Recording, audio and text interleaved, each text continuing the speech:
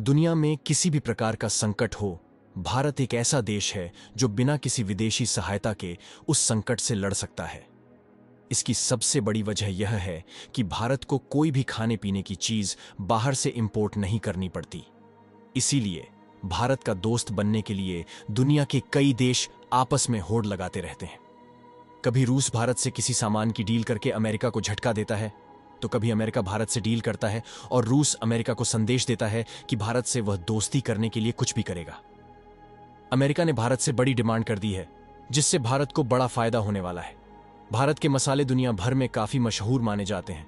इसका अंदाज़ा आप इसी बात से लगा सकते हैं कि जब वास्को डिगामा भारत आया तो वह अपने साथ यूरोप में भारत के अलग अलग प्रकार के मसाले लेकर गया था, जो यूरोप के लोगों को आज भी काफ़ी पसंद आते हैं।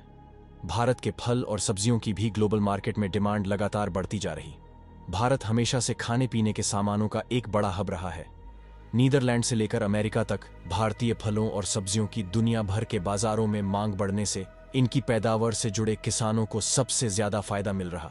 वाणिज्य मंत्रालय के आंकड़ों के मुताबिक 2023-24 के अप्रैल फरवरी में भारतीय फल सब्ज़ी के निर्यात में 2022-23 के इन 11 महीने के मुकाबले 15.38 फ़ीसदी की बढ़ोतरी हुई है।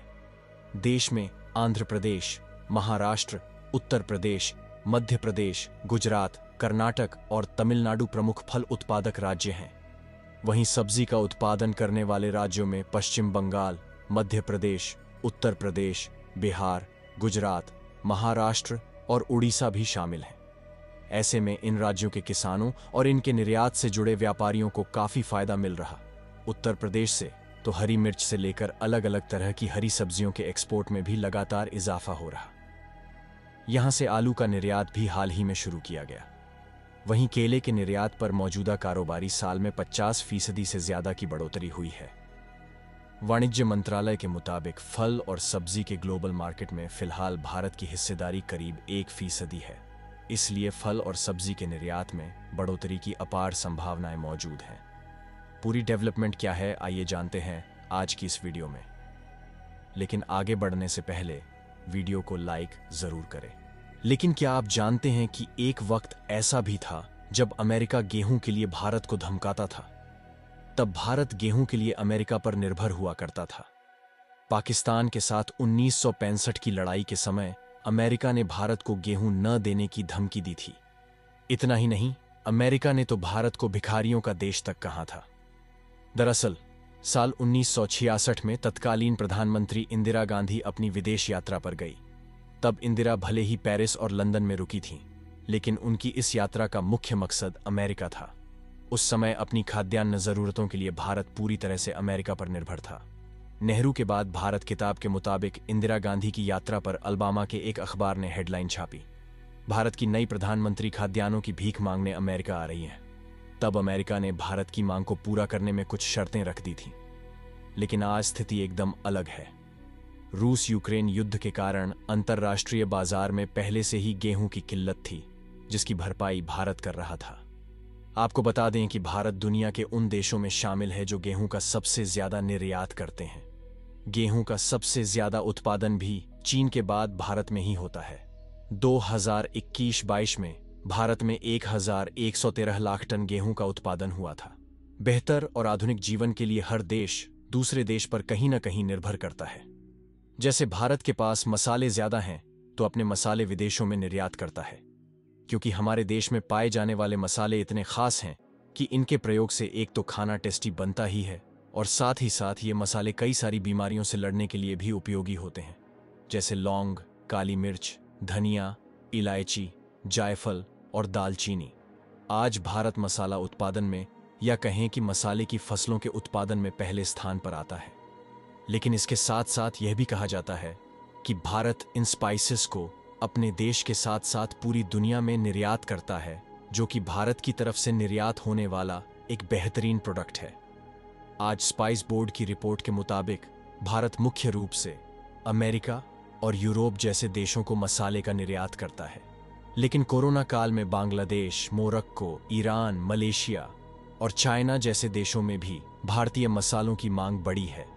ज़्यादातर जो यह आसियान देश मसाले उगाते हैं, इनके यहाँ मसाले काफ़ी कम मात्रा में होते हैं।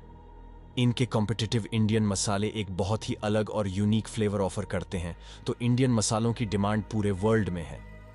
अगर आंकड़ों पर नज़र डालें तो साल 2022 और 2023 में भारत से कुल मसालों का निर्यात करीब 10 लाख टन से भी ज़्यादा का था, जिसका टोटल रेवेन्यू करीब 3 लाख बिलियन डॉलर्स का था।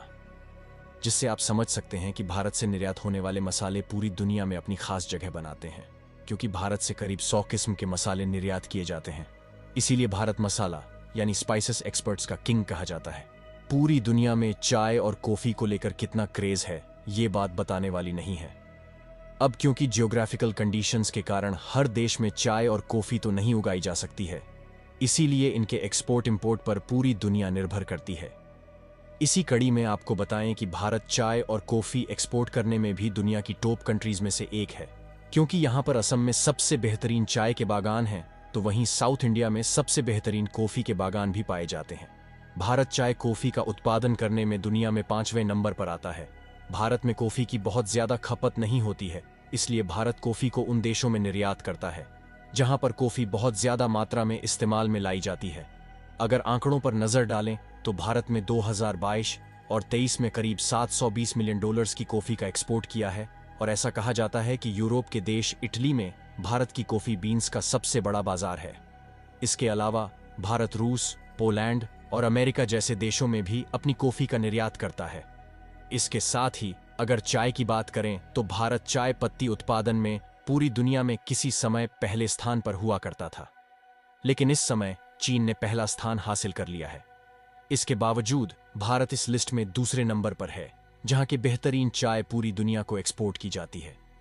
2022 और 23 में भारत ने करीब 200 मिलियन किलोग्राम चाय पत्ती का निर्यात पूरी दुनिया में किया है, जिसकी कीमत करीब तिरपन हज़ार करोड़ है। आप इस बात से अंदाज़ा लगा सकते हैं कि पूरी दुनिया में भारत की चाय और कॉफ़ी कितनी इंपॉर्टेंट है।